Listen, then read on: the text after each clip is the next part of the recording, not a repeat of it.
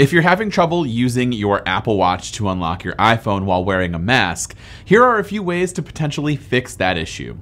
We did an entire video on how this feature actually works, and so if you need a refresher on everything, be sure to click the card in the upper right corner. But for those of you who need a quick reminder on how to enable it, simply head into Settings, Face ID, and then select Unlock with Apple Watch. You will need to be running iOS 14.5 or later on your iPhone and watchOS 7.4 or later for your Apple Watch.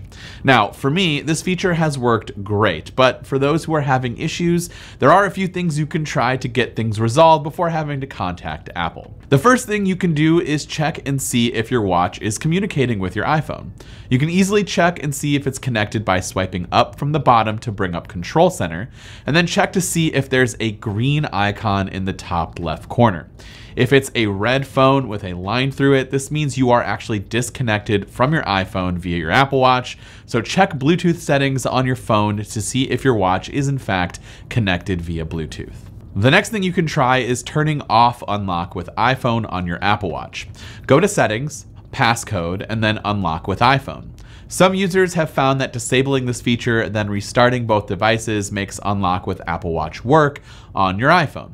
Of course, this is kind of a workaround rather than a fix because you are turning off one useful feature to resurrect another, and so you'll have to weigh up whether or not that compromise is worth it in this particular case. The next thing you can do is the old turn it off, turn it back on again method. This time heading into settings in the watch app on your iPhone and select passcode and then turn passcode off.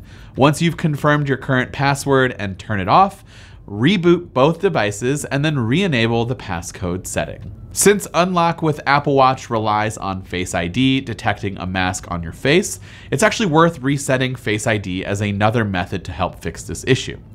Open the Settings app on your iPhone, select Face ID and passcode, enter your passcode, and then tap Reset Face ID.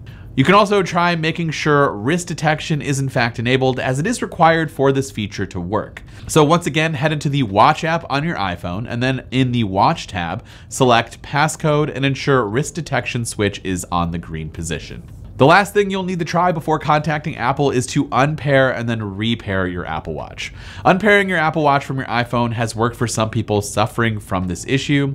It does take a bit of time, but if you miss the unlock with iPhone feature on your Apple Watch, then it's probably going to be worth resetting your watch as a last ditch effort. To do this, open the Watch app on your iPhone and then in the My Watch tab, select all watches, then tap the info button on your corresponding Apple Watch that you want to unpair, and then unpair the Apple Watch. Once everything has been reset, simply follow the on-screen instructions in order to repair your watch to your phone. And that's it. Hopefully one of these methods worked out. If for some reason nothing has worked, just contact Apple and hopefully they can help. Uh, but if there's a different method that we didn't mention that worked better for you, please let us know in those comments down below. This has been Dan with MacRumors. Thanks so much for watching, and I hope to see you around in the next video.